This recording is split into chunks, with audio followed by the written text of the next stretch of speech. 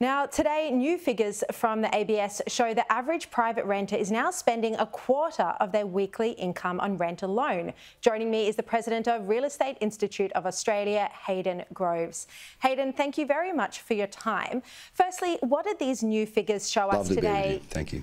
And why are rents going up by so much? Well, it all comes down to supply uh, and the lack of supply that we have in the market. Uh, and it's crept up on us. There's, that's certainly the case.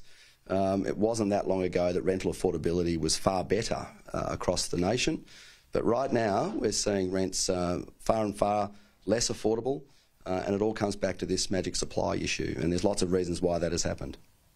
Just looking at the history, you know, we, we've seen house prices rise dramatically in recent, recent times, but over the past 20 years or so, rent has remained fairly stable and it's only just starting to increase really right now.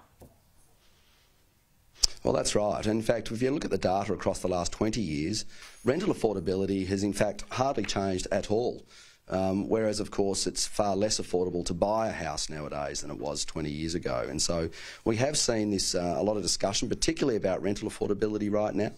Um, but the reality is, is that it is still uh, substantially more uh, affordable to rent a home in Australia than it is to buy. So um, earlier on, you mentioned that 26 percent uh, typically of somebody's income going towards their rent. Mm. Uh, we say that about 30%, once it gets to 30%, that's when you start to get into some serious stressful situations financially.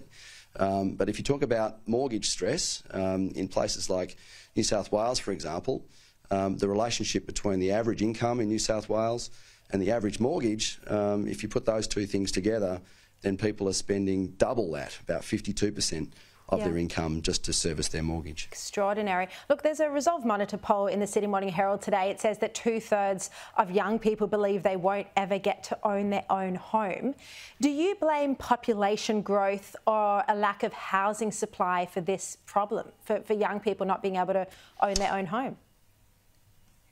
It does come back to a supply issue, there's no doubt about that, but it also comes back to government policy failure, and that's across a broad spectrum, spectrum of policy positions. That includes things like planning initiatives from the local government level all the way through, um, from federal government policies. Um, and there's some good policies out there, you know, young people being able to access by putting uh, salary sacrifice into their super and then drawing that later on, out later on to, to pay for their deposit for their first home. First home buyer grants are also another very useful component uh, of the policy setting. Um, but really, it does come down to uh, that supply issue. We just simply haven't built enough houses for Australians. Mm. Uh, and so it's going to be, uh, continue to be a challenge until we can solve some of those supply blockages in our market. Yeah, all right, we've, we've just got 10 seconds, but are you seeing more grandparents and parents having to chip in to help their children or grandchildren even get into the housing market? Well, the Bank of Mum and Dad is the fifth biggest lender uh, for, for people in Australia. Um, and yes, they have got some intergenerational wealth built up, which will allow them um, to help their children and grandchildren into their first home. Um, and I don't think yeah. there's anything particularly wrong with that. I think that's just the natural cycle of things.